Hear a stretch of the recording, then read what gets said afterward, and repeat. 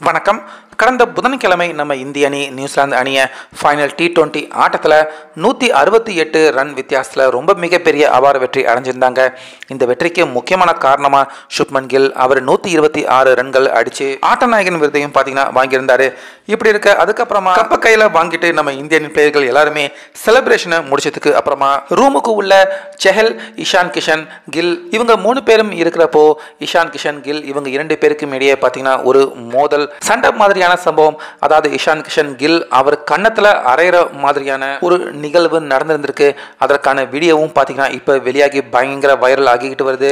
அதாவது நம்ம இந்தியன் பிளேயர்கள் எல்லாருமே செலிப்ரேஷன் முடிஞ்சதுக்கு அப்புறமா செஹல் கில் இஷான் கிஷன் இவங்க மூணு பேருமே ஹோட்டல் ரூமில் இருக்கிறப்போ அந்த இடத்துல பார்த்தீங்கன்னா ஒரு விதமான ட்ராமா பிராங்க் பார்த்தீங்கன்னா இஷான் கிஷன் கில் இவங்க இரண்டு பேருமே ஈடுபட்டிருக்காங்க.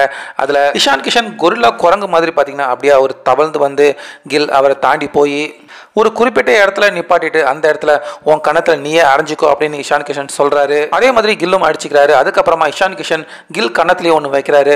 அந்த அடியும் வாங்கிக்கிட்ட கில் திரும்ப மீண்டும் பார்த்தீங்கன்னா அவருடைய கணத்திலேயே அரைஞ்சிக்கிறாரு. ஸோ இந்த சம்பவம் எல்லாத்தையுமே பார்த்தீங்கன்னா ஒரு டேரக்டர் மாதிரி யுவேந்திர செஹல் அவர் டேரக்ட் பண்ணிக்கிட்டு இருக்காரு. ஸோ ஓவராலாக மொத்தமாக இந்த விஷயத்தை வெளியிருந்து பார்க்குறப்போ இஷான் கிஷனும் கில் இவங்க ரெண்டு பேருமே சண்டை போட்டுக்கிற மாதிரியே தான் பார்த்தீங்கன்னா இந்த வீடியோவை உருவாக்கியிருக்காங்க.